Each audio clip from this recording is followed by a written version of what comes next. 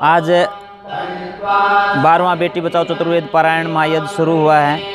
ये 9 मार्च तक चलेगा। 9 मार्च को इसका समापन पूर्णाहुति का कार्यक्रम है। आज पहला दिन हमने पुलवामा के शहीदों को श्रद्धांजलि दे करके इस यज्ञ को प्रारंभ किया है। उनको नमन करके ये यज्ञ प्रारंभ किया है क्योंकि शायद इन शहीदों की बदौलत, इन सैनिकों की बदौलत आज हम लोग सक्षम हैं इतने बड़े बड़े आयोजन करने में। और इस यज्ञ में वेदों के विद्वान और संन्यास आश्रम गाजियाबाद के अध्यक्ष पूज्य स्वामी चंद्रवेश जी ब्रह्मा हैं।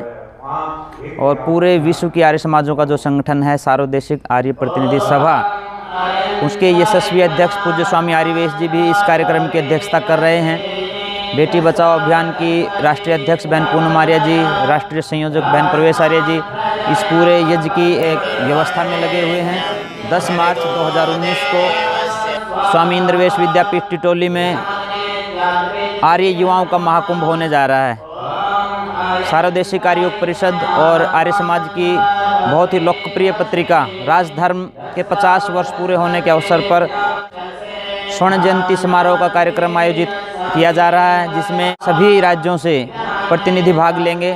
पहली बार शायद आर्य समाज के युवा इतनी बड़ी संख्या में यहाँ एकत्रित होने जा रहे हैं। उसके लिए मैं समस्त साथियों से भी निवेदन करूँगा, कार्यकर्ताओं से भी निवेदन करूँगा कि ज़्यादा से ज़्यादा साथी आर्य समाज के अधिकारी, आर्य समाज के कार्यकर्ता इस समारोह में निश्चित रूप से पहुँचने का प्रयास करें।